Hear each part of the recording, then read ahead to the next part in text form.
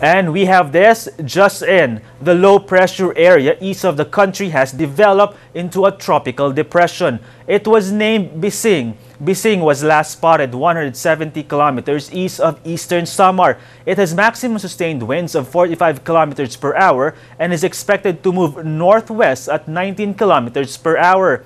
It will traverse the east coast of Luzon and will be east of Infanta Quezon tomorrow evening and east of Aparri Cagayan by Sunday night.